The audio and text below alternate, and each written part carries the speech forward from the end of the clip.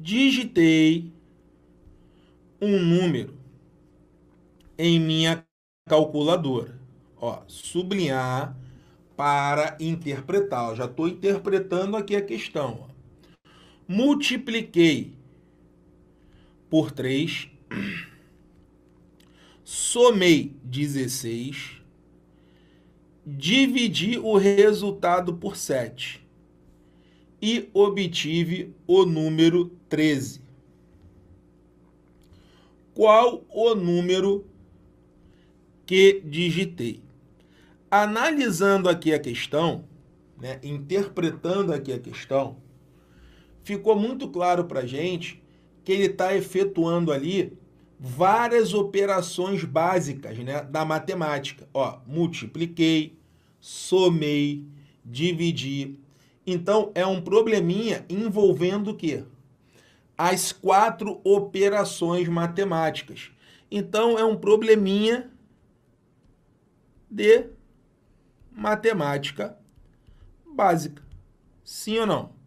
É um probleminha de matemática básica. Multipliquei, somei, dividi. Então, é um probleminha básico, né? É um probleminha né, de matemática básica. E o que, que ele está querendo nessa questão?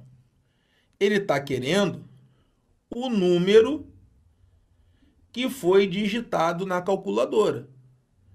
Legal. Primeira etapa cumprida. Já tenho meio caminho andado aí. Já sei qual é o assunto e já sei o que o problema está pedindo. Qual é a próxima etapa, Marcão? Resolver. Para resolver a questão, entre em cena a segunda técnica do método MPP, que é a técnica R. Né? É isso que acontece lá no nosso curso de tanto você estudar, revisar, exercitar, cara, é natural. Você acaba memorizando né, os macetes, né, as técnicas de resolução para resolver esse tipo de exercício. Então, lá no nosso curso é assim: ó, você bate o olho e você já sabe, porque são vários exercícios. Então, de tanto você estudar, revisar, você já sabe qual o macete. Então, para resolver um problema de matemática básica, né, nesse estilo, né, que tem ali várias operações matemáticas sucessivas, você precisa aplicar aqui o princípio né, da reversão. Né? É um macete, né? você precisa aplicar esse macete, né? essa técnica, o princípio da reversão. Olha o nome, o nome já é bem sugestivo, reversão. Você vai fazer operações contrárias. Pô, se você multiplicou na ida, na volta você vai dividir. Se você somou na ida, na volta você vai subtrair. Então, aqui no Matemática para Passar, nós patenteamos como princípio da reversão. É um macetezinho. Se não é voodoo, é bizu. Pô, Marcão, o que é bizu? Bizu é uma dica muito legal.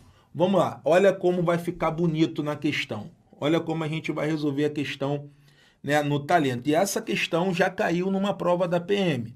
Então vamos lá, executando aqui a missão. Ó. Ele digitou o número. Ó, a gente não sabe. Beleza, digitou aqui o número. Aí o que, que aconteceu? Vamos lá. Primeira operação. Ele pegou esse número e multiplicou por 3. Depois, ele pegou o resultado e somou 16. Ó, depois, ele pegou o resultado e dividiu por 7. Ó, cabeça de gelo. E dividiu por 7. Depois, ele pegou e encontrou o número 13. Depois que ele dividiu por 7, ele encontrou o número 13. Agora, o que, que o tio Marcão vai fazer? Vai aplicar o macete. Vai aplicar o princípio da reversão. Eu vou voltar com as operações contrárias. Ó, se na ida ele dividiu, na volta eu vou multiplicar. Então, vamos lá, quero a sua participação. Quanto é que dá 13 vezes 7. Vamos lá. Ó, olha a malcriação, hein? Você sabe fazer essa continha. Quanto é que dá 13 vezes 7? Pô, Marcão, 13 vezes 7 vai dar 91. Beleza, encontrei aqui o resultado. Ó, princípio da reversão. Na ida, somou 16. Na volta, vai subtrair. Vai diminuir. Vai subtrair 16. Então, vamos lá, quero a sua participação. Quanto é que dá 91 menos 16? Vamos lá, coloca aí no bate-papo, dá aquele delayzinho. Pô, Marcão, 91 menos 16 vai dar 75. Multiplicou por 3. Na volta vai dividir por 3. Ó. Então, 75 dividido por 3 vai dar 25.